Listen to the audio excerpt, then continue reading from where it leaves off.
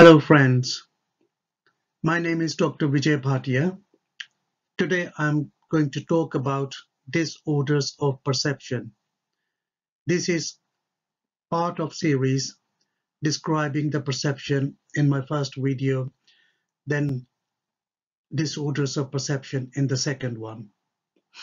There are other videos about hallucinations, disorders of perception in other forms. What is perception? The dictionary meaning is the ability to see, hear, or become aware of something through your senses. And this awareness is derived from sensory processes while a stimulus is present. That is the condition that there is outside stimulus present and that is perceived through the sensory processes by the mind. You are apprehending by means of the senses or sometimes even of the mind. What are the disorders of perception? Number one, sensory distortions, and number two, sensory deceptions. In this one, we are going to focus on sensory distortions.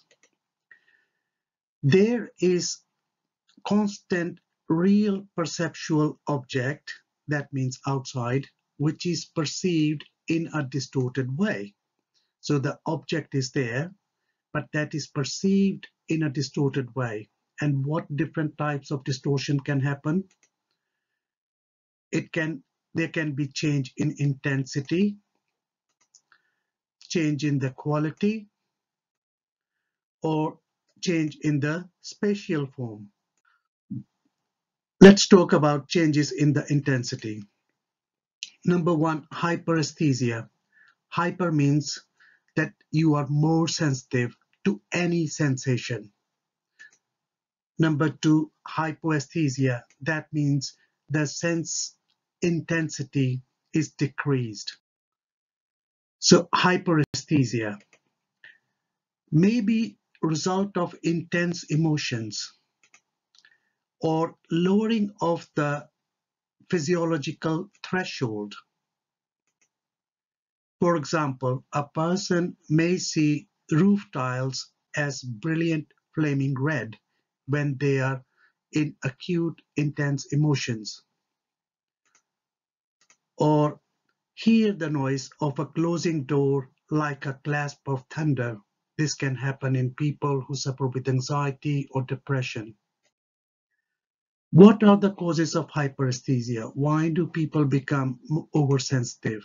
It can happen in, anxiety, depressive disorders, especially severe depressions, hangover from the alcohol withdrawal, migraine, and these are associated with increased sensitivity to noise.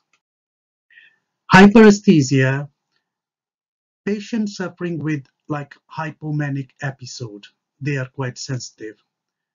Or people with epileptic seizures and uh, the just before the seizure happen, they experience something unusual through their senses, either the uh, uh, something is burning or they start seeing the flashing lights, uh, they become more sensitive. Or people taking LSD or any illicit drugs that can cause hallucinations or uh, mind playing tricks with the mind. May see colors as very bright and intense, but these can also be feature of intense normal emotions, such as in religious ceremonies, where the saint comes and and do some uh, um, uh, lecture or miracle and the people go into extreme uh, emotions and they can sense things that may not be otherwise as intense as they would have in in the in the situation. Or another situation is if you are in love and you are extremely in that love you see the smiles and colors, everything quite enhanced. So on the other side, what is the hypo hypoacusis? Where the threshold for all sensations is raised. That means that the even the loud noises they they are heard as as mild or even absent sometimes. This can happen in delirium. Delirium is any acute infection in the body which is ultimately causing confusion of the mind and the mind starts to play tricks. Or there may be defect in attention found in delirium further reduces sensory acuity like people who suffer from dementia if they on top of that they develop infections especially uh, which is spread to the brain that can cause um, uh, further um, problems with their sensory system. People like ADHD and if they develop infection as well their threshold sensation is raised. And in depression again severe depression. And gustatory meaning the taste sensation uh, and visual sensations may also be lowered in depression for example everything can be black nothing else is there or all food tastes the same. That is the result of the depression causing the threshold for sensation to be raised and therefore even the uh, food and even the colors they don't look as bright they just look dark and black. What about changes in quality in the perception? Mainly visual uh, quality is affected and this can be mainly by toxic substances Coloring can be yellow, which is called xanthopsia. Coloring can be green, everything is looking green, which is called chloropsia. Or everything seems to be red, like rosy, erythropsia. And main cause is drug poisoning, like uh, mescaline is the drug, or digitalis, which is used in heart failure and some people are taking this medication and they will complain either uh, seeing yellow color, red color, or uh, uh, green color. Metallic taste can happen in people who take some medications like lithium and uh, metoclopramide and other drugs. What about derealization? Everything appears unreal or strange. While in mania objects look perfect and beautiful, what about changes in the shape or spatial forms, which is called dysmegalopsia? This refers to a change in the perceived shape of an object. Micropsia, meaning small, objects are smaller than they really are. Macropsia or megalopsia, objects are larger than they really are. Micropsia also includes the experience of the retreat of the objects into the distance without change in size, although some authors call this a porropsia. What it means is that you are sitting there, you're watching something, and that object keeps on going further, further away without changing the size, and that can be defect of the uh, spatial form in perception. What about change of size? Lilliputian hallucinations, there is a film about this. This can occur in alcohol withdrawal and uh, other disorders as well. But everything looks very small. People are small, objects are small, houses are small. And Dysmegalopsia meaning objects are perceived to be larger or smaller on one side than the other. Say if you see a table, the table seems distorted and one, one leg is smaller than the other one. Or just change in the size perceived. I mean, there's a famous example of clock melting on the table and it is half on the flat on the table and half vertical on the side. What is metamorphosia? Objects that are irregular in shape, meaning that, that although they are normal regular shape, but the person is perceiving them as they as if they are irregular. Dysmegalopsia can result from retinal disease if there is a disease in the eye. Let's say somebody had uh, inflammation in their retina or there was a bleeding in retina or somebody suffering from diabetes and uh, there was uh, some uh, inflammation and now it is healing with the scarring that will leave with the problems and that can cause changes of the size and the perception of the objects. And uh, other is disorders of accommodation. Lens may be uh, slightly um, distorted, astigmatism, or there is problem with the convergence, the image is falling before or after the, the retina. Commonly from temporal or parietal lobe lesions, so change of size can happen in people who have suffered uh, uh, like stroke or bleeding in their temporal or parietal lobes that can cause changes of size. Uh, this is again just the perception, the real objective or real size, and the person perceives them as smaller or uh, bigger or irregular. And this can happen rarely in schizophrenia. Change of size as we already mentioned, that the scarring of the retina with the retraction naturally produces micropsia or irregular. What happens is when there is scarring in the retina, retina uh, there will be some retraction, uh, meaning that there is some shrinkage of the retina. That can cause changes of the size. Complete paralysis of accommodation, like somebody is given atropine eye drops or uh, uh, uh, other medications to to where there is complete uh, paralysis of accommodation. Iris muscles are not working or there has been uh, a stroke in the in in in the uh, or bleeding in the iris muscles. They, they cannot accommodate and pull the um, lens properly to cause the uh, proper accommodation. So there will be problems in the size of the perception of the size of the object.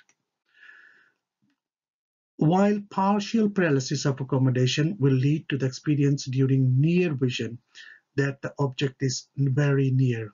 So when you're looking at the um, uh, nearby vision, it even looks further near to you. If accommodation is normal but convergence is weakened, macropsia can, can occur. So what the convergence is, when the light rays are coming, they should fall on the retina here. But what is happening is, if accommodation is normal but convergence is weakened, the lens is not able to uh, uh, put the ob object right on the retina, there might be uh, changes in the size of the perception. Dysmegalopsia may occur in poisoning with atropine or hyoscine.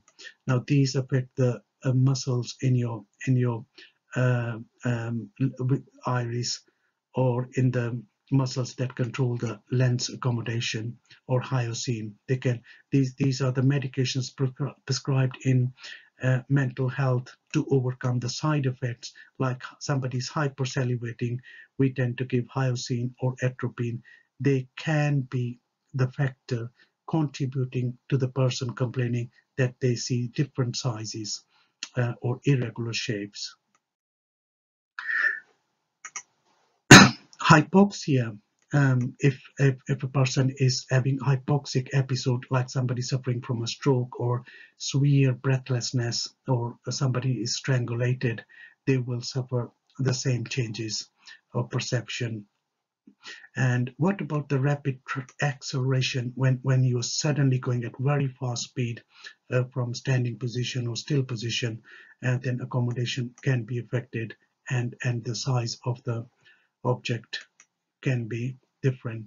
It can also happen in um, uh, arachnoiditis, which is inflammation of the uh, layers of the of the of the brain so brain, they, they have outside layer, uh, uh, which is called arachnoid, which gets inflamed and they can cause the changes of the size in the perception when you see things.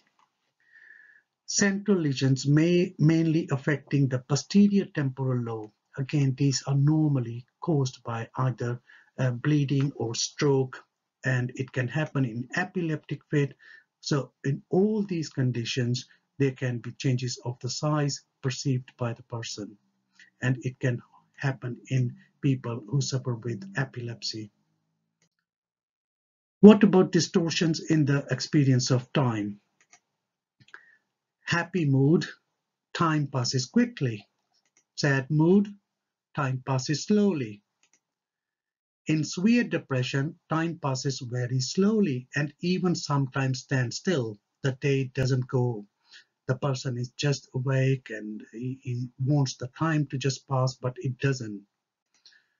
In schizophrenia, time moves in fits and starts. So it stops and goes and stops and goes and may have a delusional elaboration that clocks are being interfered with. So they are sitting in their room looking at the clock and look at the time. Five minutes later, they're looking again, the time is the same or time uh, goes one hour further.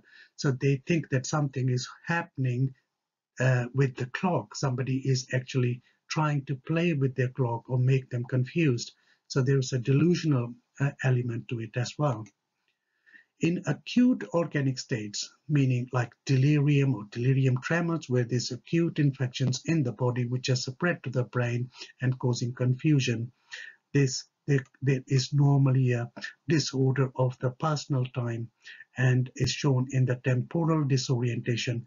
If you ask the person at that time, what is the time now, uh, date, day, month, they will be confused. And in milder forms, there may be overestimation of the progress of time. And if you ask them how long the interview has been going on, they may say uh, uh, hours. So the perception of the time is distorted in, in people with um, uh, acute organic states.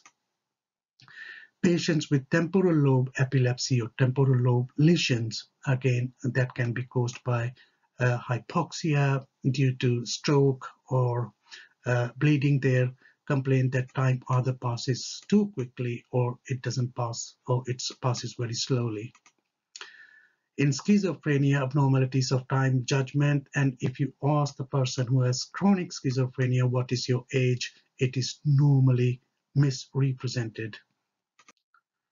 What is trailing phenomena? Perceptual abnormalities in which moving objects are seen as a series of discrete and discontinuous images. What happens is uh, the car is moving they and it is continuously moving but the person see, uh, see them as discrete images that it is here now it has moved here. So they see discrete images not as a continuous.